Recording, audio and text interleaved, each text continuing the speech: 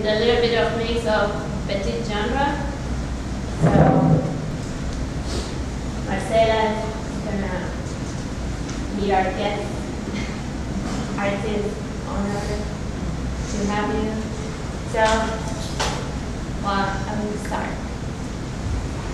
Some of the great still life contains complex message, the narrative encapsulated in the type of object displayed and how they arrange.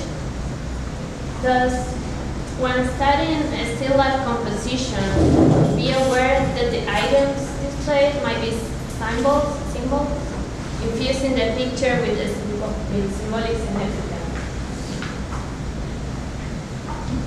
For example, in the Vanitas painting, this form of Christian art was refined by the Dutch, art, uh, Dutch realist artist as a reaction against Roman Catholic Church and to meet the new austere aesthetic of Protestant Reformation art.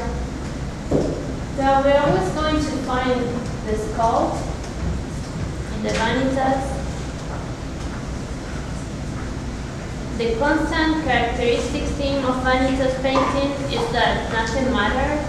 God will kill you anyway. So matter how much you learn or how many achievements you get in the life, you know, we all die at the end.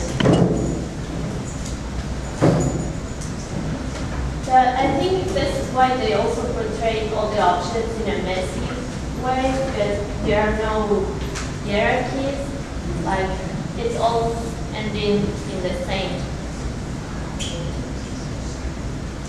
So the flowers the flowers will wilt, the fruit will rot, and no power or abundance can save us. Even the accomplishment of science and arts and literature, music have no lasting existence. Neither, yeah, just uh, like everything you can know about the world so for example, here you can find a little school. and there is always this comparison. Comparison. For example, here you can find the butterflies. So the artist is making this metaphor that science and history is, is going to disappear, you know, as butterflies too.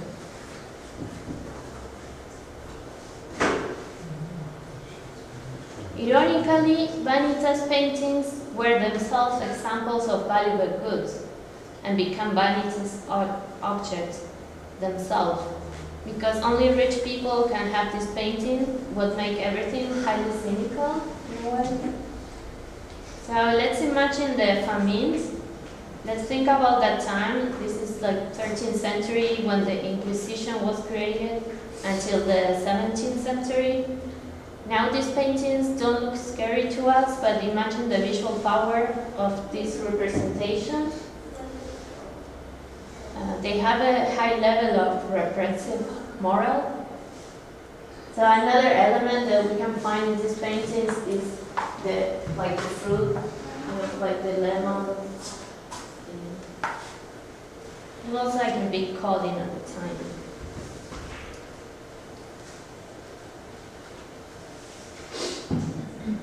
So, but we can also check how they portray ideologies naturalized in our society. Sorry.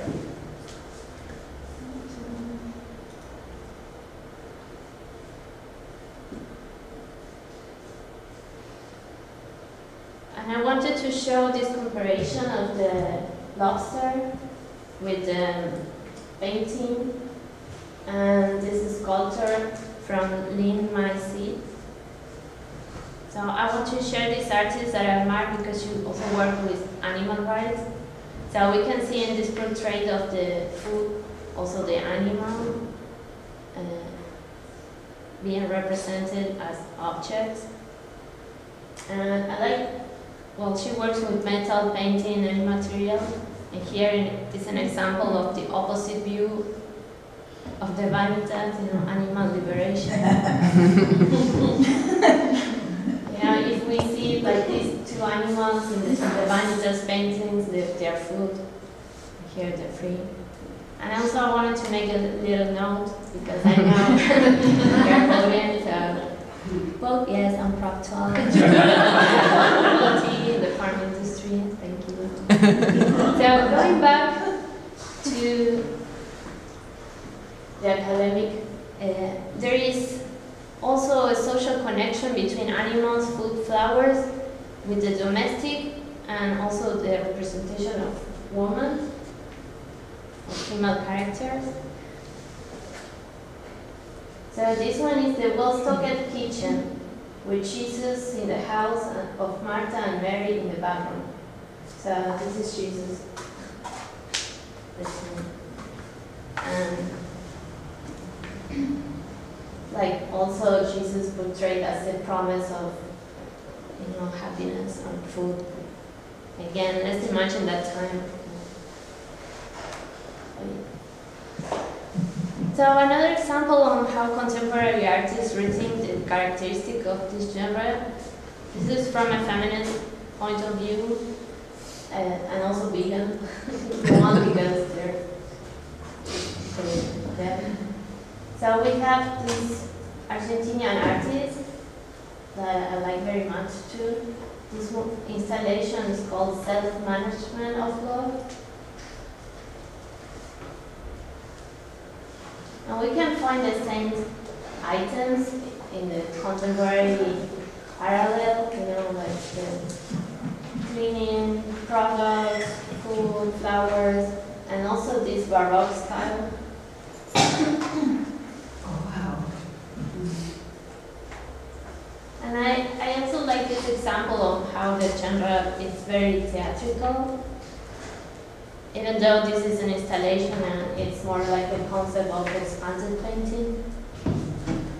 So another Argentinian artist that I want to talk also in the last session of geometry is Cristina Schiavi because she does this uh, like geometry uh, for interpretation of domestic environments too. So this is the opposite.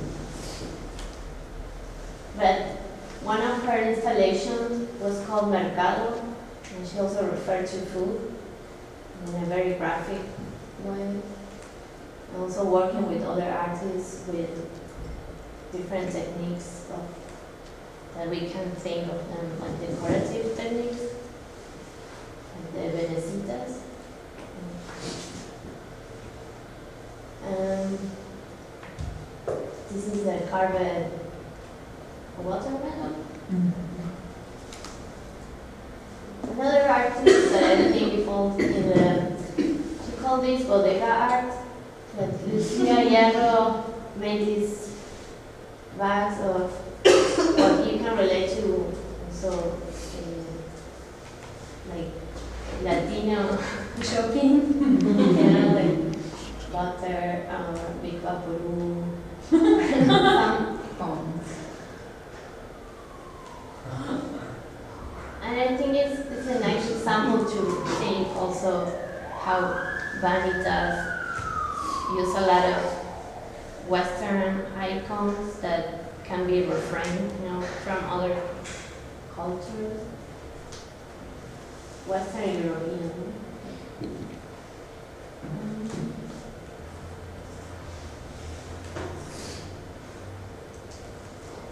This one is from Archivo de la Memoria Trans. It's an archive made by trans women. I, I already talked about them.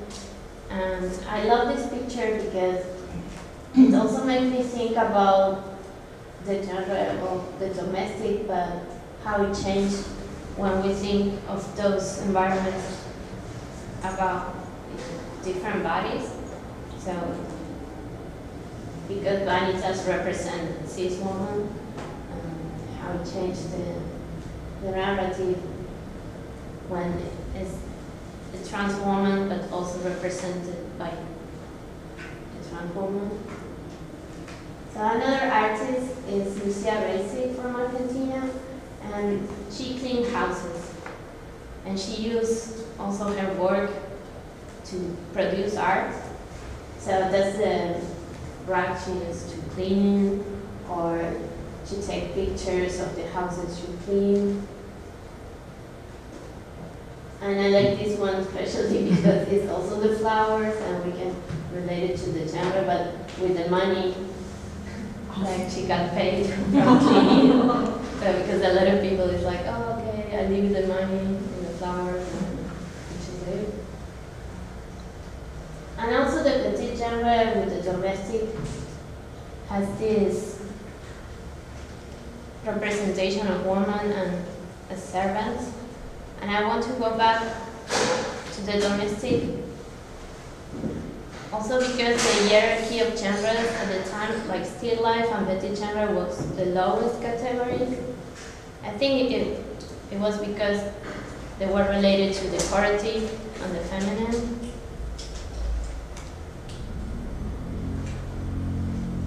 Well, domestic labor.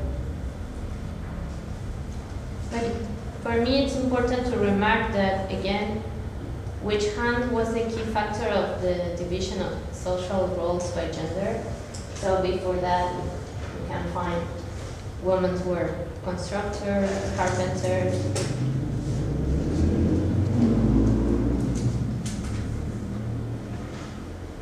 I think I said it before, but again, I recommend to read Silvia Federici, uh, The Caliban and the Witch.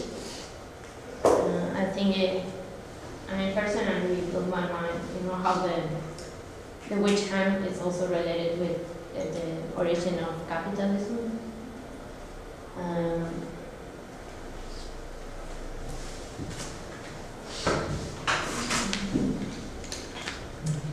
one common definition of genre scene, uh, of the petit genre, is that it shows figures to one to whom no identity can be attached, either, either individually or collectively. So these are not persons, like, these are not the persons uh, for the one that paid them. So.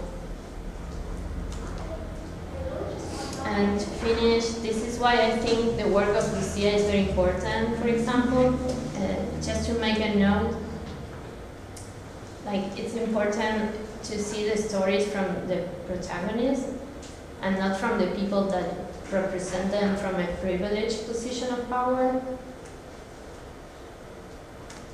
So yeah, that's my suggestion. Like, look out for the people that uh, is the protagonist of the narrative, not the ones that represent. So now I'm gonna yes, Marcela. Do you have it? Do you have the thing? I'm at the slideshow. Yeah. Is that right?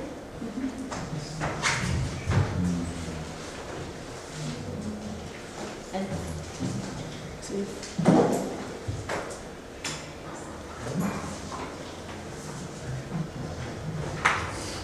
and then I could consolidate that with the- No, for the present, uh, maybe I'll just- Everyone. No, this is good. Um, thanks for coming. I'm so stoked to be talking about this and in this very colorful room on a Saturday afternoon. Um, you know, you were like, you were like, hey, you want to do this workshop about still life? I was like, sure. And then I was like trying to remember my first like relationship to still life, and I was like, like I don't know. I didn't, you know, I feel like I was like, I think I need to open the presentation and like, it's a genre that I truly hated. I was just like, ah, what's more boring than like getting to a living room and there's a painting of like food and there are like people like, you know, eating, looking at the, paint, the, the painting of this food, right? I'm like, and I always thought about like, oh, is the painting like from the same country of the food? Do they eat that food? Is it like, you know, something different? And I started like about what that would be like. Um, and so then I was this. I was like, oh, I want a picture of this. Why can't I find one? Um, and this was what's my favorite, just like the orange you know, main thing happening there. But um, there, you know, and then I started thinking more about the, the still life genre in the sense that like it is one of those genres that has been like pushed to the side. And I was thinking about other ones, and I was like, I also felt very strongly about landscape. You know, I was like, I want to so into it. Um, but then I started thinking about why I was more into like portraiture or something like that. And I was like, well, there's like human element, there's lit, uh, but in the still life, there's something that's so like anthropomorphic about an object. It's not like an object you see it, and it can be something for itself, but what you're you're like reading a meaning out of it. Um, and the other thing about like the still life or like something like that is that you don't actually have to, you know, have the thing to paint the thing. You can like make something else out of it. You don't need like it becomes about representation and about imagination and about like you know props and theater and things like that. And that's kind of like how I started thinking about the genre and like my own use of uh, props and sets for the photographs that I make. Um, and also use the playfulness that you can ask, you know, something to act like something else. Um, and at the same time, this allowing us to like tell the stories that we actually want to tell without that um, life actually existing right now, right? So we, we have the possibility of imagining something better or something alternative without that actually existing yet. And so when I was also thinking about this genre, um, there's also like this playfulness about it, or you know, something I can something else that like, is like convincing. Um, and good and just gets you into like a different world. um, and all this to say that like, um, you know, I was, I, both my parents do a lot of theater, so I grew up around like a lot of people, you know, there were like mice in my living room hanging out, or just like random things happening that were like part of like my daily life which felt very special looking back. Um, but also, you know, they were doing a lot of theater, in the 90s in Colombia where like everything was kind of shitty and I was like so confused. I was like, people are getting killed, but there's like moms in my living room, what's happening? It's very confusing. But also like looking at my parents as people who are using theater as a way of like creating their own world, despite all the circumstances that they were living in. Yeah, so thank you. So one of the things that I was thinking about was how, um, you know, I didn't want this this presentation to be only about my work because I was like, I, you know, it's, it's about a genre I want so many people that like we don't know about, um, and I also use this as an opportunity to like nerd out on looking at art, which I love. um, and I found this person, and you know, I was thinking about the connection between an object and text and like where it takes you, and so she did this. Um, this series of works where that, that are called Foley objects. So this is like the object sound is what it represents down below. So in a way you're like imagining the sound of the photograph as you're looking at it. Um, and she has this, would you show the next one? Um, and as, as you're looking at this like, you know, exhibition full of all of these works, you're like start to hear all these sounds at the same time and there's like this participation of the viewer that's so fundamental to like making the, the works come to life.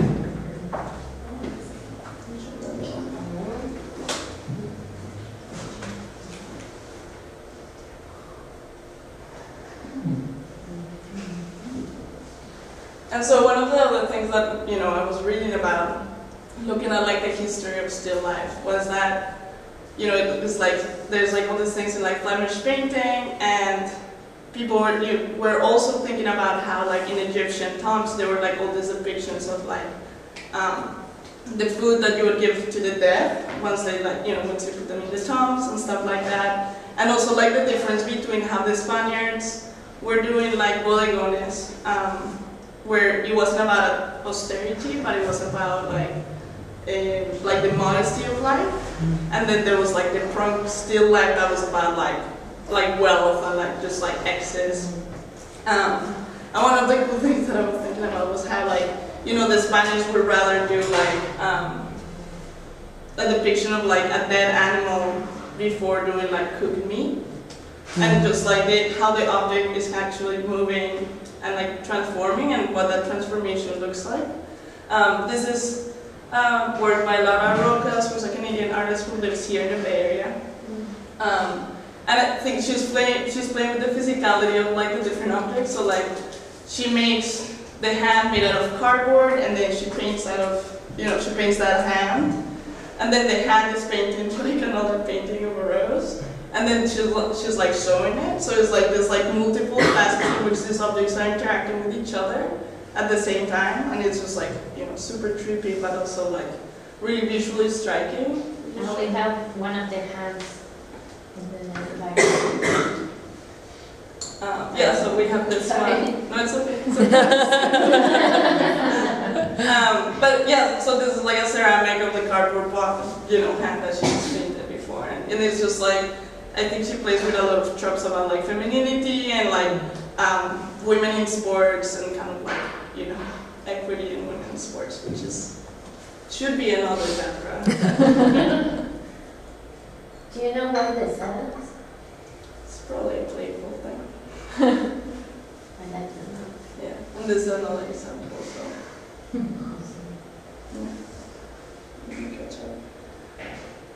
So I also want to show you a little bit of my work, and this is like older work. but It feels old now. Um, but I was looking at all those like you know Flemish paintings where there's like all these weird portraits. People are looking three quarters of the way, and there's like spooky lighting, and and I always wonder like what's outside of that frame though? Like why don't they want to show us the rest of the thing? like I don't care about that face so much.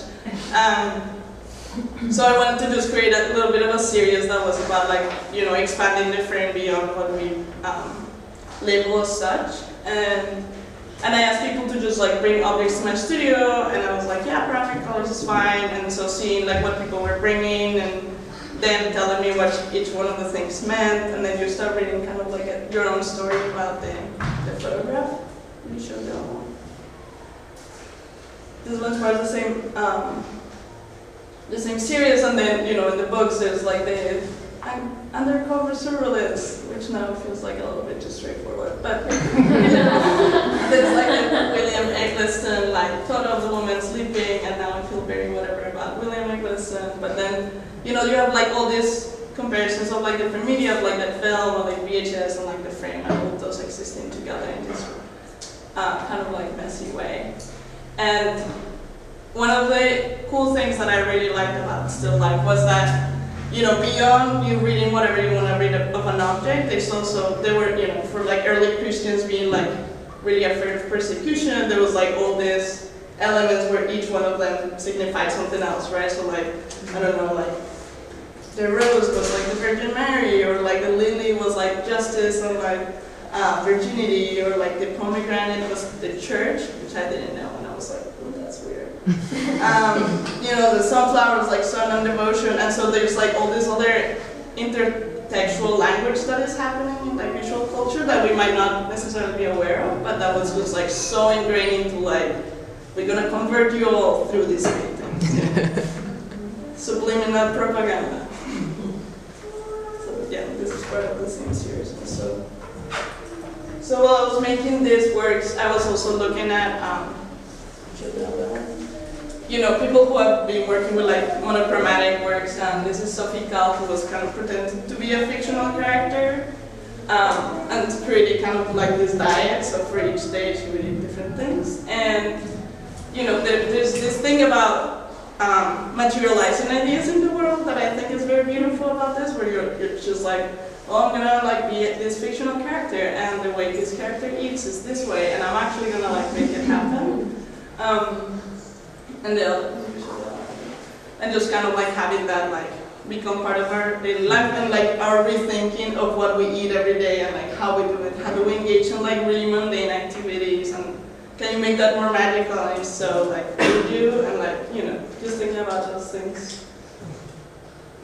I also want to show this works by Sarah Sunar where below all of this there's like a um, like a poster of an actual bouquet, eh? like a, of a painting of a bouquet. Eh? Hmm. And then she like starts organizing all these objects to like kind of match it up. Um, as, a, as like a kind of like a contemporary flower arrangement, which I, you know, it's just like this. Hmm. There's like two more of those. if you want to show those. And it's cool that you can kind of see like the, you know, the writing from the last uh, piece of like the last image.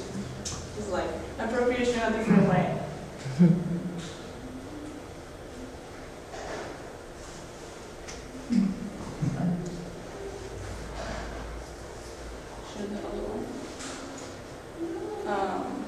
So this is Stephanie Syjuco, who is also based in the Bay, and I like love her work. Um, and this is part of like the neutral orchids, where she like painted all these orchids and into like this neutral, like seamless backdrop. And in a way, it's just like denying the like liveliness of these uh, plants, right? Like they're alive, but they become like dead nature or like naturaleza muerta, which is how we also call it. Um, but then they, they remain alive for a couple, you know, for some days after, and so some of them still bloom even after being painted. If you want to show the next one. Also, looks like the Uh, Yeah, so then it kind of like, you know, it becomes this like very, um, I don't know, like strange way of existing in a neutral world where like, it's actually like a sense of resistance almost. you know, Mm. like, and, um, th- you know, this whole idea of like, I don't know, uh, controlling nature and to what point does it become, um, you know, counterintuitive. This is like another example from Sandy Skoglund. This always uh, makes me think about the Midwest. um, just, you know, I live there, so it's not like I'm just chilling on the Midwest. uh, but, you know, just kind of retaking those elements and making it into something else and thinking about graphic design and um, this idea of like paint, painting with live objects in a way and using that like flattening of space that like happens in photography, um, which I think is sort of like magical elements about the medium where you're like we're in a three-dimensional space, we take a picture, it becomes dimensional, and then you like make it three-dimensional again.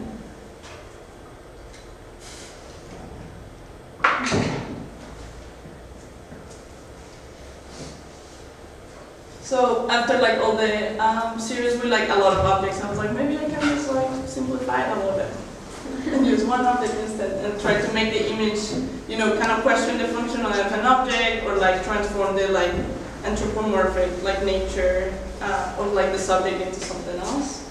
And also start to like, um, to alter the subjects and, you know, kind of um, question like the movement of an object or like what it can symbolize and, and thinking so much about like stock markets or like heartbeats um, and the way you like read those.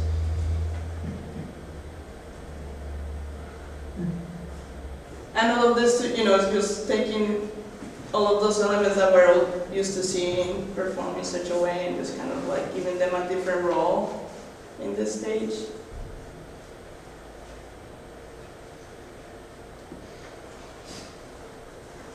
and like trying to play around with the idea of like when which bodies are forgiven for what and you know how they move into the world.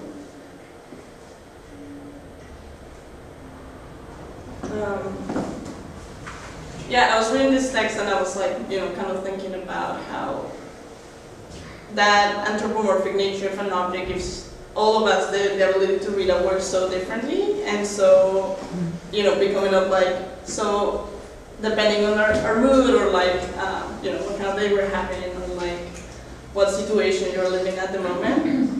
In a way where it's not like, you know, when I was using a lot of subjects in my work, it, the reading of the work became about like, you know, who's that person? What are they doing? Like, oh, or I know that person, they're like this and this. And I was really interested in how do you talk about identity politics without the body being there? Um, or perhaps asking the body that is viewing like about their own body and, and their own assumptions of the body. And and also thinking, you know, thinking about like um, yeah, just kind of how we're expecting objects to behave in the way in the same way that we're expecting bodies to behave, right? There's like a trajectory that they're like supposed to follow and we're all supposed to follow that that are that is completely arbitrary that like we never asked for and trying to think of you know beyond those things, which I you know there are so many other ways of doing one thing, so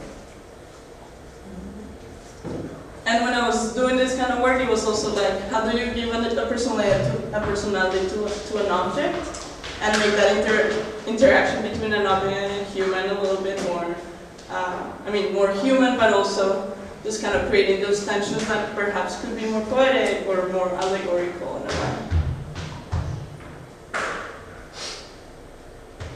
And with this one, I was thinking so much about, like, I went to a school that didn't have a uniform in Colombia, which was like, it was like a very radical thing. And some people were like, oh, you, you go to that school. and, and it wasn't even like a celebrated thing, it was like, you guys don't know how to dress. Uh,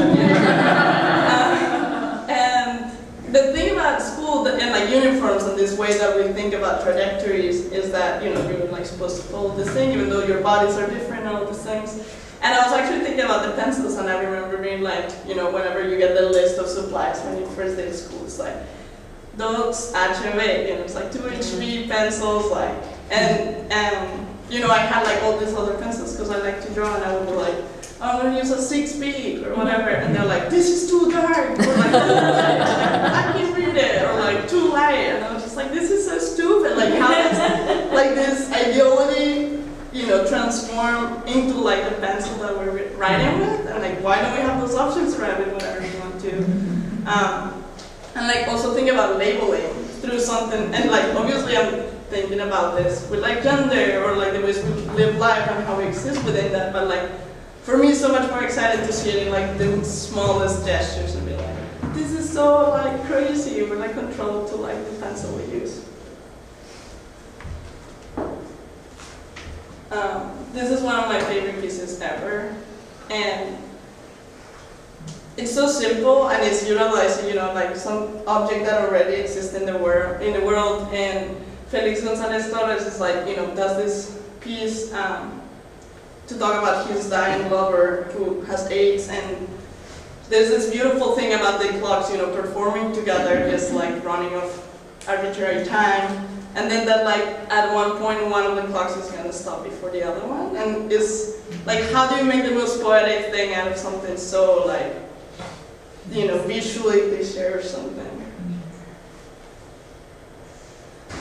I also love this series. Um, this is like a series by Tammy Rae Carland, who also lives in the Bay, um, and was doing all the series about like lesbian beds. And there's like this projection of the body, like they're not there, and you, you know, I'm thinking like, oh, why did you choose that type of sheets? Like, those so like, weird. Or like, you know, you're like thinking about that, and again, it almost becomes more political to see the object than to become to see the bodies that would be there otherwise.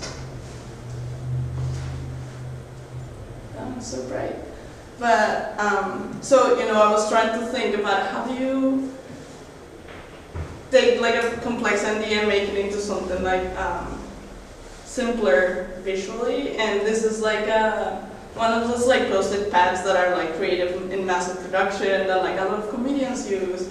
Um, and but like you know the, the distance between the lines is always the same. It's something you can expect, and just kind of changing that and giving this line like a character positionality almost.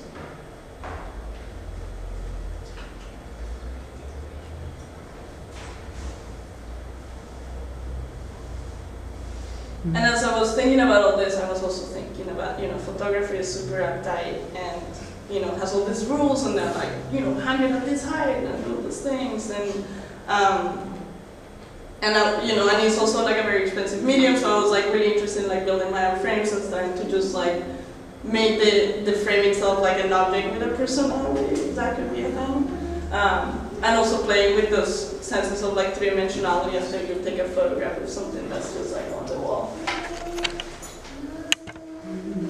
Um, so this is a picture of a mat board, and you know this is this is a very weird material. Um, it's very expensive and you know it has that function of like uh, kind of like showing off the photograph so that it is more archival and whatnot. And I was doing a project, Could you change the other one? and I realized that in Mexico they call the mat or the Maria Luisa. And I was just like, that's so fucked up. Like, put like a woman's name into the thing that's just been like, I'm showing off my partner the photograph. um, thank you, that's how I that. and, and I was like, well, maybe I can make the, the Maria Luisa have her own adventure for once, or like be the, the subject matter of the work. And this was like super nerdy me being like, fuck photography, this is so dumb. Um, but also like super nerdy because I feel like photographers are like, aha, and other people are like, what? um. So it, it was more of an exercise to be like, what can you make with just one type of material and and let that material be like its own diva in its own universe. Um, and for this one, I started painting in the wall also, so that you know it would kind of create that like layering of two-dimensional, three-dimensional space. And it's funny because the only way you can tell that material is that material is with that, that 45 degree angle in this thing. Um, which, again, very nerdy. But these are pictures of the 3D. Mm-hmm.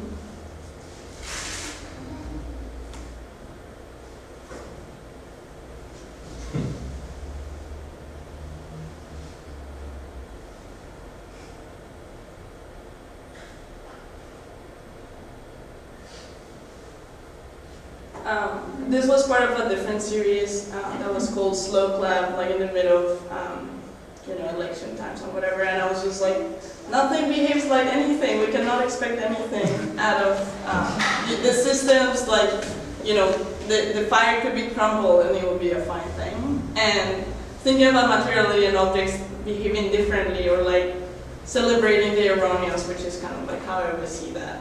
That kind of like still life of you know, let's uplift those who are like always being pushed to the side. And and like with fire, I was thinking so much about it because it was such a like destructive force, but but it also gives us so much, and th- there is something so untamable about it.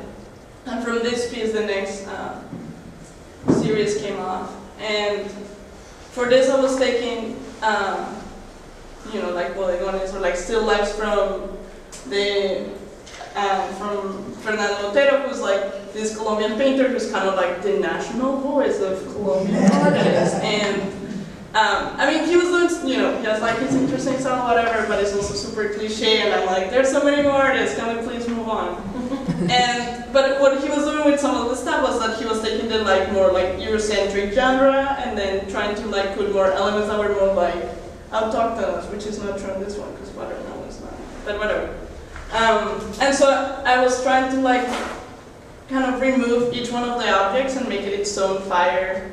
Uh, there, there's all like all these images of like combustions and like explosions and things were just like happening and I was just like feeling like, oh my god, everything's fucking crazy and like trying to continue was kind of like an exercise but also like burning Botero's paintings I was like, revenge. Um, and leaving just like one element that would like you know, kind of like wink at you and being like, this used to be a thing, no more, you know.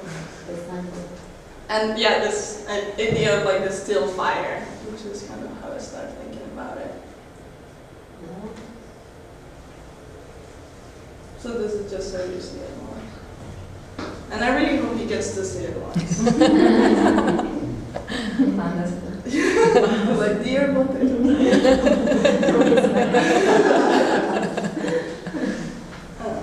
yeah.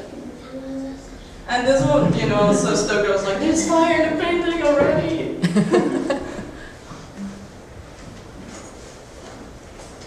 so, and, and then the next one, um, so this is sunset. And, you know, when we were thinking about still lives, we like talking about it, I was just like, we were always talking about objects in, in like this more, you know, this is like glass of a thing. And but you know, I want to bring up like the work of Penelope Umbrico. She like takes all these sunsets from like um, I was gonna say Tinder, Flickr, from Flickr, and she's like all this, you know, put, putting them all together and kind of changing that that meaning of what a sunset can be is like how do you capture the inexpressible of the inexpressible nature of the sunset? And then if you put all of this together it becomes something else. But in a way it's like the, the like collective depiction of what this could be like. Um, and I, I really like you know I already really like this work but I was thinking about how much I liked it even more as a, as a still life. Like like what if it was you know this was a representation of something else and also thinking about how like one image doesn't always represent something, but you have like this plurality of meanings and like um, visual culture. I just wanted to show this one because it's like a very weird story where my friend kept getting all these credit card offers, and they all looked like this was what the envelope looked like. and I was just like, well, you're already have like a hundred thousand dollars in debt. Like, why are they showing you paradise? Which is like this tropical paradise also. Uh, it's like very colonial. Like, like Yeah. here, you can be a colonizer. You can. you don't have the money to, but you can try. Um, so dream. the American dream, you know, in the tropics. But um, and you know, when I was doing the still fires, I was thinking so much about that texture of like what is a monochromatic texture that, that is not monochromatic, that is not like color based, but is like texture based. And I started doing this work about like kinship and kinship through a material. So like it can be like through leather or like through denim. Like what kind of kin does that create? Um, what are symbols of belonging with each other? And also thinking about like family, a family that's not like through blood, but a family that is messy and horizontal and like sexy sometimes and like um, ugly at times also. Um, and I was showing this work and for the first time like earlier this year, and earlier this year, and someone was like, "Hey, I, I just texted, I just sexted your work to someone," and I was like, "That's not the one I've ever gone."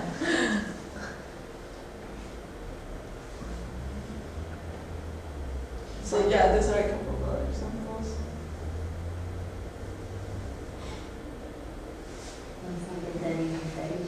I know, denim fetish.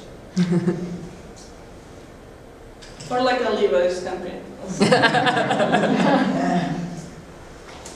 So the the way that it was um, exhibited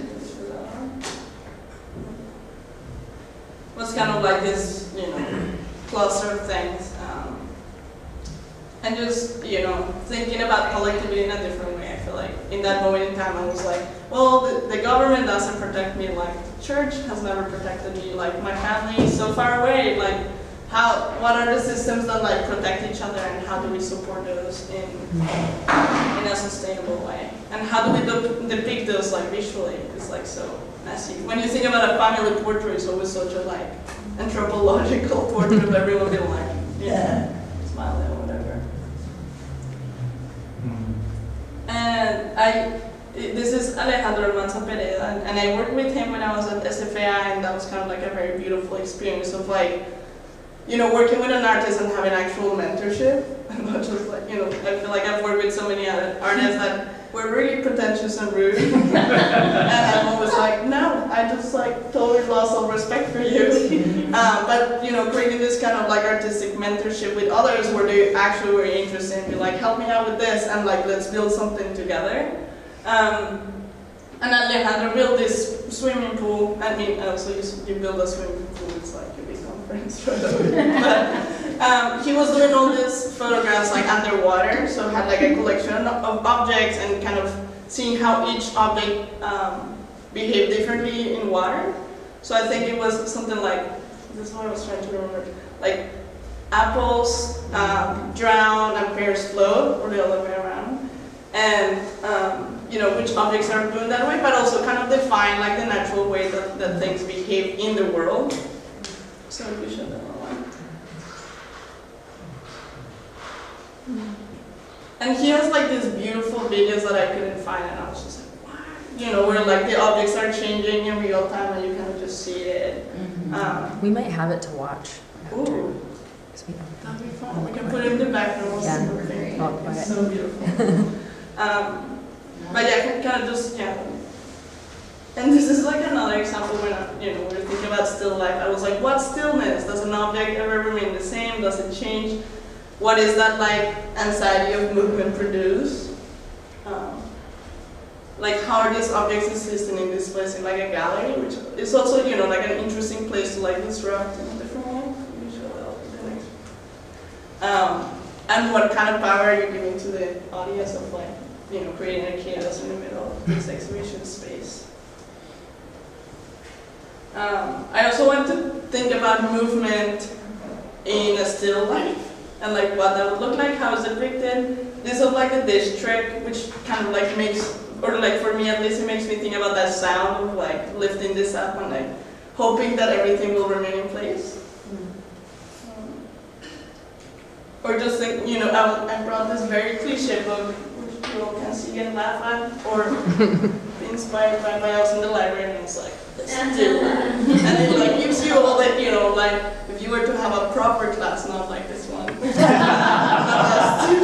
Like older proposition have. I mean, you know, proper.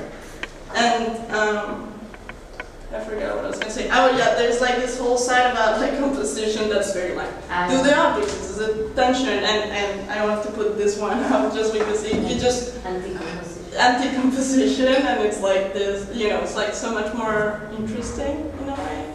Um, I, I've worked with students, with like younger people before and they're always like, please tell me the tricks of composition. and I'm like, I don't know, just make it your own. Like I can tell you the rules, but like that's just not even, you know, that's not gonna make it necessarily. Um, I always try to show them some of these works that are just like outside of what we're expecting to see. Um, and this um, work is really incredible. But I was like looking at a couple of them where they have like a flower arrangement and then they explode them and then they take the picture.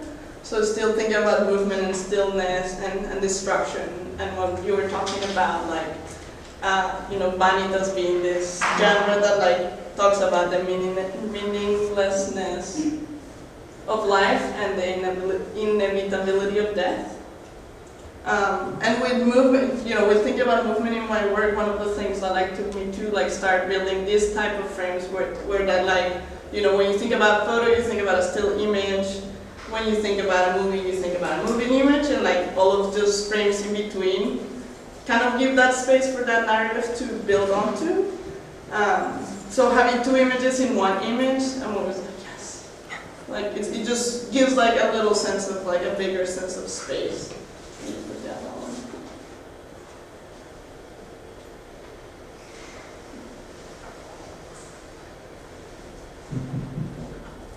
And then I just want to quickly talk about um, this body of work which I just finished and I'm really stoked about. Because it, you know, I was like looking at all these journals and the San Francisco Public Library and GLBT Historical Society and I was kind of like going through like queer bodies that existed in the past and like you know asking them to participate in this thing by like um, kind of like scanning the image and printing it life size and and then like having it interact with someone from the present and I was thinking about it especially for this um, talk in the sense that like um, you know, the way we look at history and like history of art is so like, um, it's like non-neutral. Obviously, there's like this way that it has been taught to us, right? In the same way that like I think, you know, the feminist school of painting. Was like, yes, like all of my art teachers, especially in Indiana, were like super uptight about what something could be. Um, and like what history could be, and like seeing yourself represented, and all the things that like you know we always talk about. But um, thinking about like queer legacy and like archives, there's this sense of like, you know, the past and the present and the future, but everything's always kind of like, how do we link that more? And how do we celebrate those bodies that came before us? And how do we like uplift each other to like create like a different, um, more needed future in a way? So here you can see kind of like the, you know, the two bodies interacting um, together. This is about like kind of like impossible kinship through decades, through different decades, and and still thinking about those like meaning, um, these like symbolic gestures of like aesthetic gestures of like the mustache of what does that person, would they have something in common, what kind of um, legacy do they share with each other? And when we were doing all these photo shoots, um, you know, I was like telling my friends and people that were helping me, I was like, hold them like they're, they're a real body, you know, you don't have to interact them tenderly and like playfully, like hold them like a lover. And it was like this whole thing of interacting with a still object that was also representing something bigger than that.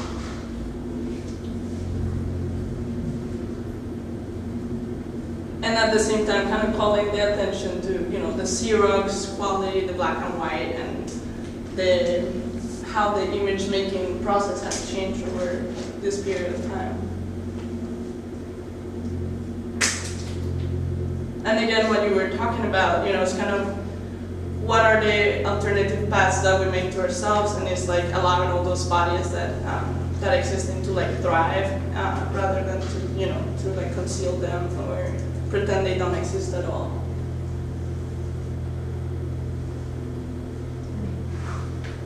And putting like all this narrative in like one bigger frame. Um, then I, this is kind of how the, the installation looks like. And in a way, I always think about all of these things, all these character, like each one, each piece is like a bigger character, and then they all come together again in the installation and become like they have a sense of movement through the painting that that, that some of them have. And, then, and I just want to finish with this, um, with, uh, which is this last photo, which is like is that a good friend uh, who's also a performer, but you know, as, as we were thinking about like flower arrangements and bouquets and like this someone who is like currently transitioning and thinking about you know like um, the change of like time and like the change of bodies and also like what how do you represent bodies and those movements in like less fr- in like more fragmented pictures rather than that like you know in the picture where you can see someone clearly transitioning or clearly going through something and rather than just like just leaving space for people to see it a little bit more. So that's all. That's all I got. Thank you.